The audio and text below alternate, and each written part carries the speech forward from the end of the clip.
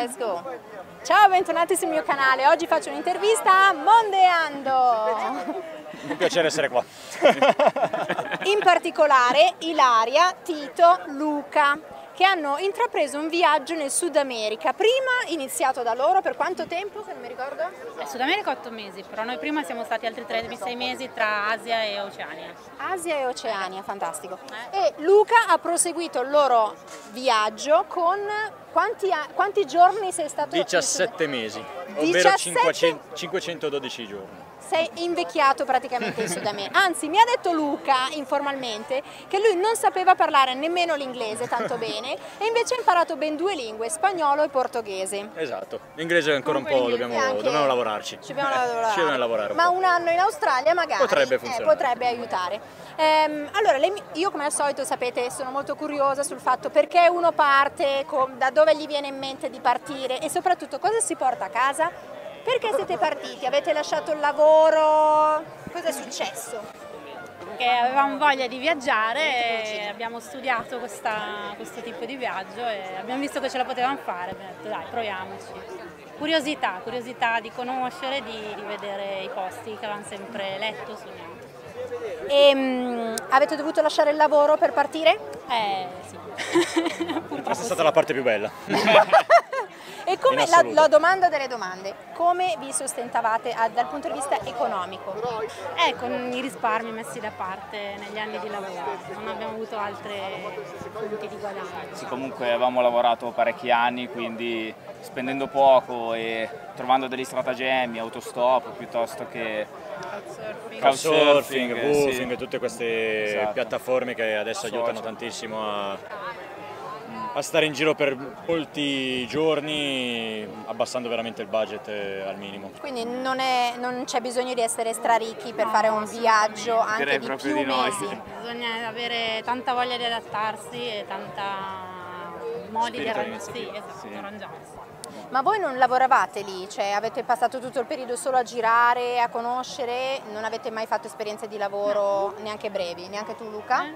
Io ho fatto volontariato più che altro, però lavoro vero e proprio no. Vi è cambiata la vita dopo questo viaggio? Eh, sì, ovviamente. Che cosa vi portate a casa del viaggio, cioè di tutto questo progetto che avete realizzato? Esperienze, posti, persone, un modo nu- nuovo di pensare, di vedere le cose, di, di- sì, di ragionare, di, di vivere. Si vede magari nelle piccole cose che fai, non è che sei cambiato proprio radicalmente, che non ti si riconosce più, però dentro ti senti che la vedi in un modo diverso. Abbiamo una certa serenità adesso nell'affrontare la vita quotidiana, la routine e tutto quello che è diciamo Como, la provincia di Varese e Milano che sappiamo benissimo che è una vita abbastanza stressante. Eh, è vero. Il posto più bello che avete visto? E Lo so che è La domanda difficile. delle domande. e ce ne sono tanti, ce ne sono. Uno che vi è rimasto nel cuore, che dite, ah, quello lì me lo Anche come ricordo. esperienza. Eh, Nuova Baccalari in Zelanda. Messico. Ah, Baccalari in Messico. Baccalari in Messico, lui dice Nuova, Nuova Zelanda, sì. E io dico Colombia.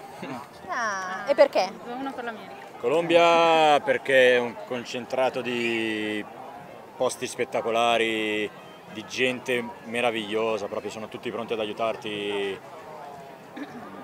È completa, vai dai deserti all'Amazzonia, ai fiumi, c'è l'Oceano Pacifico, il Mar del Caribe, città coloniali, C'è tutto. c'è tutto, è È un sogno. esatto. E il Brasile no, Luca! Il Brasile in realtà è perché sono arrivato che non sapevo bene la lingua, perché se no Anzi, non la sapevo del tutto la lingua. Quando ho iniziato a parlare un po' portoghese, stava scalando la classifica vertiginosamente. Ah, ecco Poi è bene. dovuto tornare a casa, quindi sì. non c'è stato Ripartirete? E se sì, quando e per quale luogo? Partirete sarebbe bello, quindi speriamo di sì. Quando e dove è tutto da, da vedere. Tito, dimmi qualcosa, che cosa invece non ti è piaciuto del viaggio? C'è stato, stato qualcosa che non ti è piaciuto del viaggio, che avresti fatto in maniera diversa? Eh, no, no, ri- ripartirei subito. Io una cosa ce l'ho, Eh. il, il dover muoversi totalmente con autobus eh, o comunque essere sempre dipendente da, da questi fattori. Mi sarebbe piaciuto magari avere più autonomia, magari con un mezzo proprio. Sarebbe stato tutto completamente diverso. Avrei magari, magari avuto meno relazioni umane con le persone perché avrei fatto un viaggio più solitario, però in realtà mi avrei guadagnato soprattutto in posti ecco, da visitare. A proposito, eh, Luca diceva appunto eh, un viaggio solitario, cioè loro sono partiti in coppia e lui è partito da solo. Eh, insieme alla nostra amica carissima, eh, il filo di Niki, Nicoletta Crisponi, che lei è partita in solitaria, ehm, mi chiedo quanto possa essere difficile o interessante essere da soli in un viaggio. Forse Luca...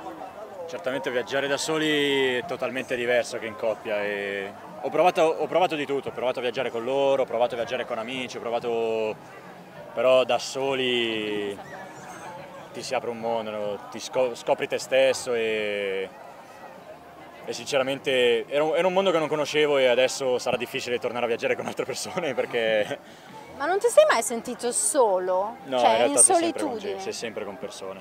Il Sud America aiuta tanto le, pers le, persone ti aiutano e non, non, ti sentirai mai da solo. Poi stando in ostelli, dormendo in ostelli, è impossibile veramente. Anzi, a volte cercavi te la solitudine. perché... Oh, ma mollatemi! Esa esatto. Avevi, avevi proprio Tanto bisogno dei tuoi spazi e, cercavi di isolarti anche quando non avevi troppa voglia di parlare. O... Un consiglio che volete dare ciascuno di voi per chi eh, ha voglia di fare un viaggio di più lungo diciamo di una classica vacanza, quindi di uno, due, tre mesi almeno. Un consiglio. Non abbiate paura, che il mondo è, è meno pericoloso di quello che vi vogliono raccontare. Sì, se, se, uno lo sente dentro deve partire, basta, senza rifletterci più di tanto, tanto poi ci sono un sacco di opportunità, un sacco di situazioni. Esatto fare, sì, fare il primo, l'importante è fare il primo passo, comprare un biglietto, decidere dove andare, poi tutto viene. L'ultimissima domanda, giusto per curiosità, eh, quanti anni avevate quando siete partiti e l'età giovane ha aiutato anche per dire mollare il lavoro, non ho figli, non ho famiglia, non ho... Eh? Allora posso farlo? Sì, più che l'età giovane il non avere questo tipo di vita perché esatto. ovviamente parti con te stesso e basta. Sì, senza eh, avere un mutuo, senza sì, avere sì, niente, è il modo migliore di partire. in realtà poi noi in giro abbiamo incontrato un sacco di gente di tutte le età che faceva tutti i tipi di viaggi immaginabili, quindi l'età per viaggiare. Esatto. Bravo, era questa la risposta. Non c'è l'età, perché io che sono vecchia viaggio lo stesso. no, scherzo.